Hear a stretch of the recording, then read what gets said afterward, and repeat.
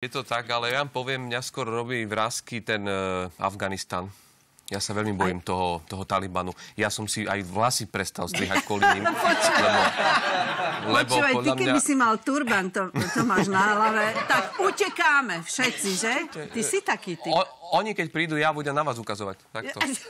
To týto, to ty. To týto. Pozrite sa, kňažko, jak pekne oholený. No. Nie, ale, nie, ale... No, ale, ale v tej Severnej Koreji, no. počujte, ja hovorím, šťastný je to národ, kde ktorom, na vás, ktorom nad vami zalamujú rukami, že ste schudli. To je naozaj šťastný národ, lebo my sme tu tak posadnutí tým, že, že mať štíhlú líniu. Počujte, ja som cez, cez tú koronakrízu tak vykysol. Ja som naozaj, že som nabrala takto. Fakt. No a takto...